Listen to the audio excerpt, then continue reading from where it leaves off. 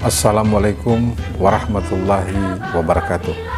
Saya Dr. Rakib Saubawa, SPI MSI, penjabat Bupati Maluku Tengah, mengucapkan selamat dan sukses atas terselenggaranya Musabakat Tilawatil Quran ke-30 tingkat Provinsi Maluku tahun 2024 di Kota Ambon.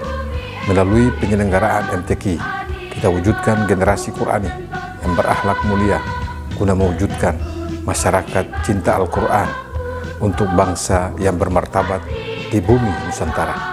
Wassalamualaikum warahmatullahi wabarakatuh.